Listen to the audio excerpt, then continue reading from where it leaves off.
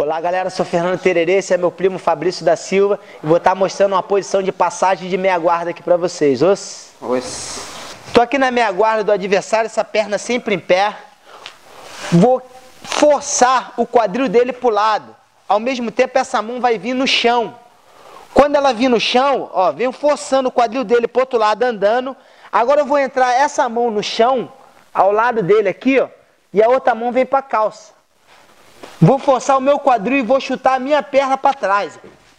Caindo do lado dele aqui. Viro de frente. Estabiliza a passagem.